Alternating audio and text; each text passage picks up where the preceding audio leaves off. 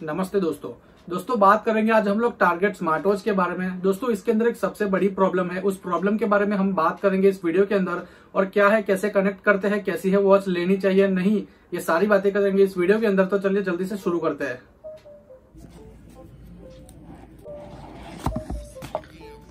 तो ये नॉर्मल जो वॉच आती है, उसी की तरह है ये वॉच को साइड में रखते हैं। बॉक्स के अंदर क्या क्या एसेसरीज है, वो देख लेते हैं। एक तो आपको यहाँ पे बेल्ट देखने को मिल जाता है, जो कि रेगुलर वही सिलिकॉन का जो बेल्ट आता है, वही रेगुलर बेल्ट है। क्वालिटी अच्छी है। और इसके अंदर आपको एक मिलता है चार्जर यहाँ पे। मैग्नेट चार्जर मिलता है। और ये मैनुअल बुक है, ठीक है?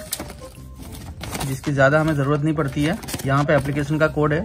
इस कोड को स्कैन करके आप एप्लीकेशन को डाउनलोड कर सकते हो अपने मोबाइल के अंदर। तो ये सारी चीज़ें जो है हम लोग साइड पे रखते हैं। अब बात करते हैं यहाँ पे वॉच के बारे में।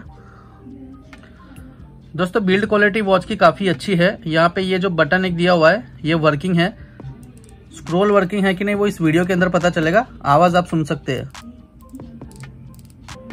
पीछे की साइड पे यहाँ पे टू पिन दिया हुआ है चार्जिंग के लिए।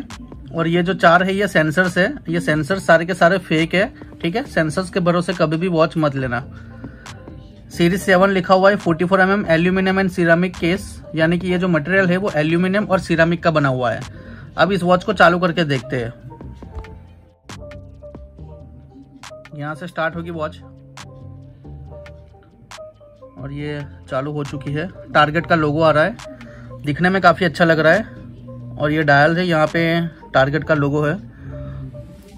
स्क्रोल वर्किंग है। वॉलपेपर्स अच्छे दिए हुए हैं। दोस्तों, जितने भी डायल्स है, वहाँ पे टारगेट का लोगो आपको यहाँ पे देखने को मिल जाएगा। जो कि काफ़ी अच्छा लग रहा है। स्क्रोल वर्किंग स्मूथली वर्क करता है। टच क्वालिटी की बात करूँ तो टच का रिस्पॉन्स काफ़ी बढ़िया है।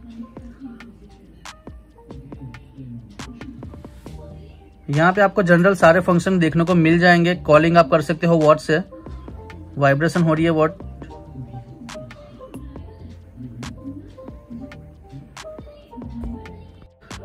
यहाँ पे दोस्तों आप आई बटन पे जाओगे तो यहाँ पे वॉच की जो डिटेल्स है वो आ जाएगी। मॉडल नंबर कौन सा है? एस डब्ल्यू टी फाइव ठीक है?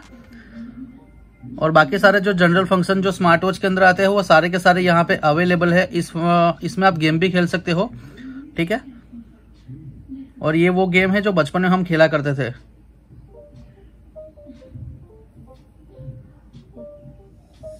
गेम भी अच्छी खासी दी हुई है इसके अंदर। इसका दोस्तों मुझे कैलकुलेटर बहुत ही बढ़िया लगा। कैलकुलेटर अमेजिंग है।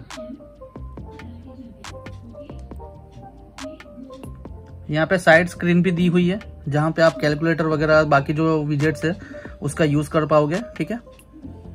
ब्राइटनेस यहाँ से आप कम कर सकते हो। नोटिफिकेशन बार जो मोबाइल के अंदर आता है सेम वैसे ही यहाँ पे दिया हुआ है। ब्लूटूथ ऑन ऑफ़ यहाँ से आप कर सकते हो, ठीक है? तो ये सारे फ़ंक्शंस यहाँ पे है। स्टाइल वन स्टाइल टू यानी कि मेनू का जो स्टाइल होता है, उसको हम यहाँ से चेंज कर पाएँगे। सिंपल मेनू रखना हो तो आप इस प्रकार से यहाँ पे रख सकते हो। और यहाँ पे जीपीएस दिया हुआ है, लेकिन जीपीएस इसमें है नहीं। फ़ोन बुक के लिए आपको फ़ोन को सिंक करना पड़ेगा, उसके बाद कॉन्टेक्ट आपको दिखेंगे।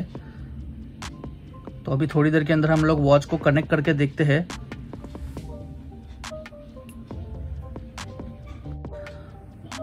दोस्तों एप्लीकेशन को डाउनलोड करने के लिए सबसे पहले आपको यहाँ पे मेनू में जाना है।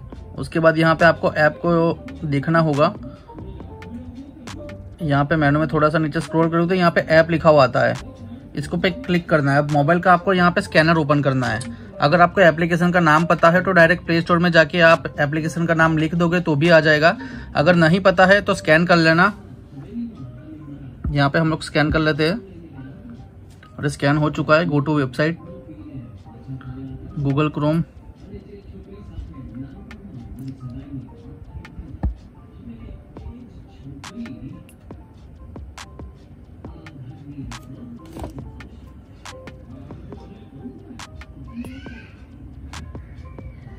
यहाँ पे आपको सिलेक्ट करना है फ्रॉम गूगल प्ले अगर एंड्रॉयड मोबाइल है तो गूगल प्ले अगर आपका आईओएस है तो आईओएस सिलेक्ट करना है। मैंने ऑलरेडी डाउनलोड करके रखा हुआ है वी बैंड नाम है एप्लीकेशन का। यहाँ पे मैं डायरेक्ट ओपन कर देता हूँ। यहाँ पे आपको जीपीएस ऑन करना पड़ेगा दोस्तों। तो ये जीपीएस मैं यहाँ पे ऑन कर देता हूँ।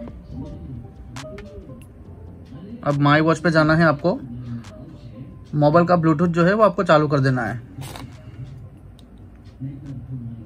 और यहाँ से जो ब्लूटूथ है आपको वो वॉच में से चालू करना है। यहाँ पे जाना है आपको ऐड डिवाइस में। ओके कर देना है। यहाँ पे जितनी भी परमिशन है वो सारी आपको यहाँ पे अलाउ करनी पड़ेगी। यहाँ पे मॉडल नंबर आ चुका है एस डब्ल्यू टी फाइव इस पर टैप करना है आपको और कंफर्म करना है। डिवाइस बाइंडिंग सक्सेसफुली यहाँ पे टाइमिंग भी आ चुका है, दस बज के चौदह मिनट, ठीक है? यहाँ पे ओके कर देना है आपको। और ये ब्लूटूथ में जाना है। ब्लूटूथ में जाने के बाद यहाँ पे ये जो अवेलेबल डिवाइस में दिखा रहा है, इस पे टैप कर देना है। S W T five audio इससे आप कॉल्स वगैरह कर पाओगे। यहाँ पे कॉन्टेक्ट को अलाउ कर देना है पैर करना है। और ये पैर हो चुका है। यहाँ पे बैटरी लेवल भी दिखा रहा है फोर्टी परसेंट है अभी। और एक और चीज़, अगर यहाँ पे आप कॉन्टेक्ट सिंग नहीं होते तो ये ऑफ़ रहता है, ये आपको ऑन कर देना है। अब जाना है आपको यहाँ पे एप्लीकेशन में वी बैंड में। एप्लीकेशन के अंदर जाओगे तो यहाँ पे वॉच आपको कनेक्टेड देखने को मिलेगी, ठीक है? डायल सिलेक्ट के अंदर आप अपने अलग कस्टम डायल भी लगा सकते हो, अपना फ़ोटो भी यहाँ पे लगा सकते हो, ठीक है? यहाँ पे हम एक लगा के देख लेते हैं कैसे लगाते हैं। कस्टम बैकग्राउंड पे जाना है। सिलेक्ट फ्रॉम एल्बम आप फ़ोटो भी वहाँ पे खींच सकते हो। यहाँ पे परमिशन आपको अलाउ करनी है, ठीक है? यहाँ पे हम लोग ये फ़ोटो ले लेते हैं। वॉलपेपर जो है दोस्तों, यहाँ पे हमारा सेट हो चुका है, ठीक है? काफ़ी अच्छा लग रहा है। अगर एच डी वॉलपेपर लगाओगे तो और भी ज़्यादा बढ़िया दिखेगा इसमें। जितनी आपकी फ़ोटो की क्लियरिटी होगी, उतना ही अच्छा वॉलपेपर इसमें वॉच में आपको देखने को मिल जाएगा। और जनरल फ़ंक्शन यहाँ पे सारे दिए हुए मैसेज रिमाइंडर है, यानी कि व्हाट्सएप पे जो नोटिफिकेशन है व्हाट्सएप फेसबुक इंस्टाग्राम वो सारे यहाँ पे एक्सेस कर पाओगे आप, ठीक है? यहाँ पे आपको परमिशन देनी पड़ेगी वीबेन में। यहाँ पे आपको ओके कर देना है, ठीक है? इसको आपको थोड़े से सेकंड वेट करना है।